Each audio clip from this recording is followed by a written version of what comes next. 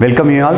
Myself, I am Prabhakaran Karupusamy, Department of Commerce, Rathinam College of Arts and Science.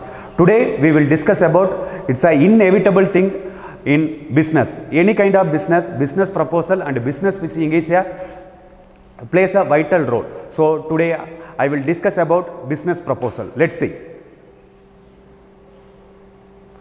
Business proposals contains steps of business proposals. Step 1 understand and content with your connect with your client and the job. First of all we know about our customers our clients taste and preference and other things. What uh, what kind of uh, products or services our customer customers to need to be needed. Because what kind of business know your customer is inevitable thing. So that's why understand and connect with your client and the job.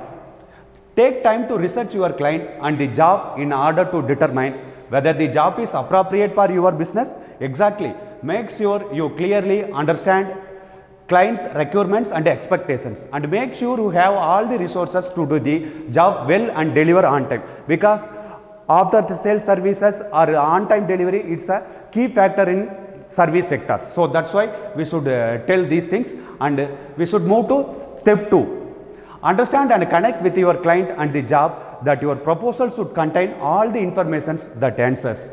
The who who are all your customers and what kind of products we should deliver or sell to the, our customers and when which kind of place and which time where and how to sell our products. These are all the things comes under understand and connect with your client and the jobs. And we agree.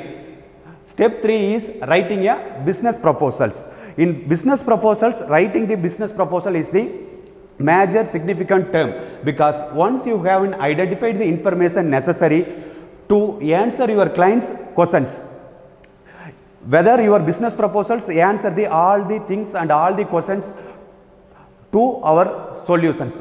Because the specialized uh, spe specific uh, problems have a specialized solutions we should offer to the specialized solutions. You now need to organize the informations for maximum impact maximum impact and clarity. Here is a standard business proposal templates which you can adjust to fit your specific needs. And business proposals templates. Business proposals templates contain three sections. First section is introducing our company. Because introduce your company and mission in a way that relates your company to your clients need. What kind of products or services our clients to be needs. And other things this section won't have a contains a, our company's ac accomplishments missions and visions long term objectives and forecasting plannings. These are all the things comes under section 1 highlight what distinguishes your company. Your accomplishments credentials and any awards this should be less than one page. It's good for ideal.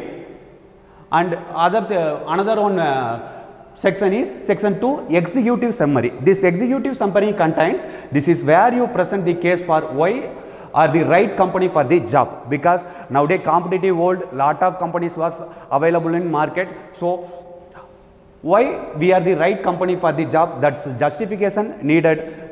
And the justification is uh, told in executive summary. Focus on the conclusions. You want the reader to reach after reading it so that you are familiar with their company and can meet their specific needs. This section should also kept one page. This is the executive summary and section 3 is a table of contents.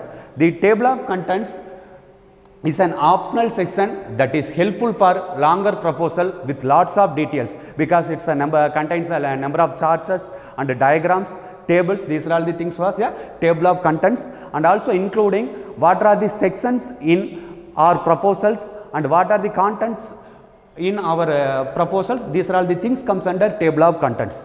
Thank you